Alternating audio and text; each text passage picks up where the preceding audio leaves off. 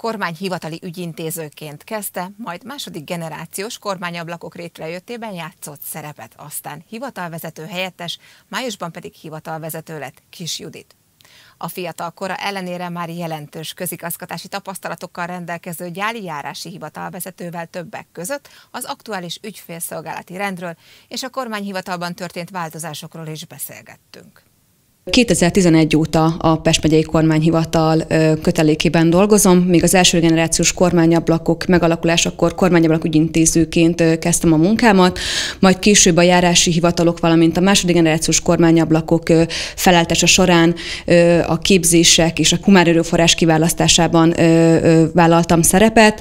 2014-ben kormányablakbizott úr felkért, hogy a vecsési kormányablakosztályt vezessem, később hivatalvezető helyettesi feladatokat is elláttam, most pedig az ő javaslatára 2020. május 11-i nappal hivatalban léptem itt Gyálon. Minden jót kívánunk az új beosztásával a munkakörébe, és ez már el is kezdődött. Két-három hete elfoglalta a hivatalát, és megkerülhetetlen a kérdés, hogy a koronavírus járvány okozta nehézségek mennyibe érintették az ön által vezetett hivatalt, hogyan szünetelt az ügyfélfogadás? A járvány idején csak előzetes időpontfoglalása lehetett az ügyfeleknek érkezni, mind a kormányablakba, a hatóság és a gyámügyi osztályokon. Folyamatos volt az ügyfélkiszolgálás, komolyabb fennakadás nem történt. Természetesen az ügyfélszámunk lecsökkent, de egyéb probléma nem volt.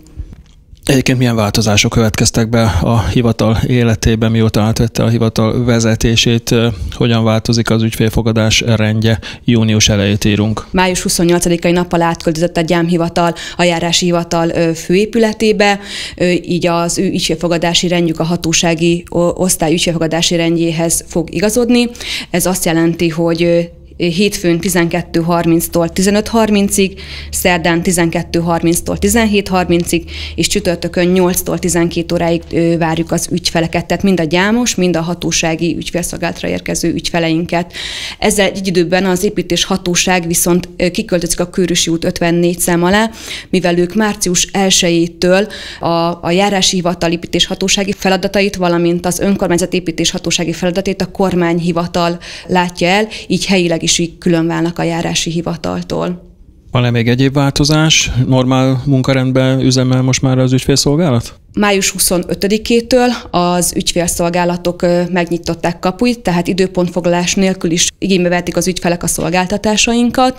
A kormányablakban az ügyfélfogadás a veszélyhelyzet alatti ügyfélfogadáshoz igazodik, ami azt jelenti, hogy hétfőn 7-től 17 óráig, kedden, szerdán, csütörtökön 8-tól 16 óráig, és pénteken 8-tól 14 óráig, viszont felhívjuk az ügyfelek figyelmét arra, hogy az ügyfélfogadás végelőtti 30 percben már sorszámot nem biztos tudunk biztosítani számukra.